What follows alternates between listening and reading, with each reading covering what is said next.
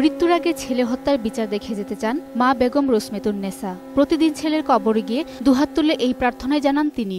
সত্য বিচার চাই আমি সত্য বিচার চাই সত্য বিচার চাই যাতে আবার ছেলের রায় কার্যকারী হয় ফাঁসি হয়। এই চাই আমি। মুক্তিযোদ্ধা শিক্ষক শ্রমিক নেতা আসানুল্লাহ মাস্টার। ছয় দফা ও এগারো দফা সহ বাঙালির মুক্তির আন্দোলনে সক্রিয় অংশ নেন তিনি। মাত্র ১৩ বছর বয়সে ছাত্রলীগের মাধ্যমে রাজনীতিতে আসেন আসানুল্লাহ মাস্টার।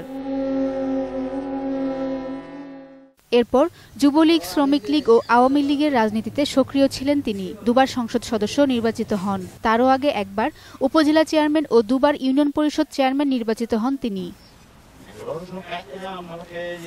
দু সালের সাত মে গাজীপুরের টঙ্গীর নোয়াগাঁও এম এ মজিদ মিয়া উচ্চ বিদ্যালয় মাঠের জনসভায় আসনুল্লাহ মাস্টারকে গুলি করে হত্যা করে সন্ত্রাসীরা। দু হাজার পাঁচ সালের ষোলো এপ্রিল বিচারিক আদালত বিএনপি নেতা নুরুল ইসলাম সরকার সহ বাইশ জনকে মৃত্যুদণ্ড এবং ছয় জনকে যাবজ্জীবন কারাদণ্ডাদেশ দেন। আসামিদের দুইজন মারা গেছেন। সতেরো জন কারাগারে, বাকি নয় জন পলাতক।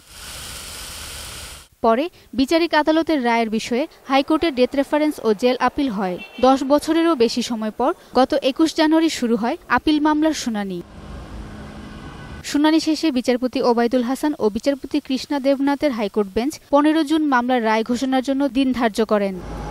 সাকেরা আরজু, একুশে টেলিভিশন, ঢাকা।